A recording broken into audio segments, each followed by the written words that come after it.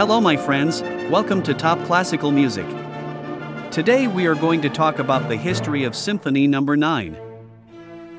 The Symphony No. 9 in D minor, Op 125, is a choral symphony, the final complete symphony by Ludwig van Beethoven, composed between 1822 and 1824. It was first performed in Vienna on May 7, 1824.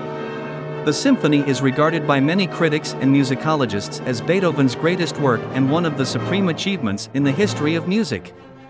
One of the best known works in common practice music, it stands as one of the most frequently performed symphonies in the world. The ninth was the first example of a major composer using voices in a symphony. The final, fourth, movement of the symphony features for vocal soloists and a chorus in the parallel modulated key D major. The text was adapted from the Ode to Joy, a poem written by Friedrich Schiller in 1785 and revised in 1803, with additional text written by Beethoven. The Philharmonic Society of London originally commissioned the symphony in 1817.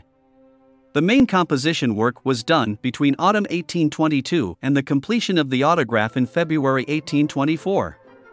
The symphony emerged from other pieces by Beethoven that, while completed works in their own right, are also in some sense sketches, rough outlines, for the future symphony. Although most of his major works had been premiered in Vienna, Beethoven was keen to have his latest composition performed in Berlin as soon as possible after finishing it, as he thought that musical taste in Vienna had become dominated by Italian composers such as Rossini. When his friends and financiers heard this, they urged him to premiere the symphony in Vienna in the form of a petition signed by a number of prominent Viennese music patrons and performers. Beethoven was flattered by the adoration of Vienna, so the Ninth Symphony was premiered on May 7, 1824, in the Theater am Kärntnertor in Vienna, along with the overture The Consecration of the House, Die Weihe des Hauses, and three parts of the Missa Solemnis, the Kyrie, Credo, and Agnus Dei.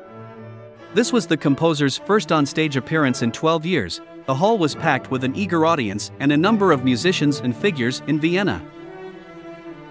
Well, that's all for today. See you in the next video.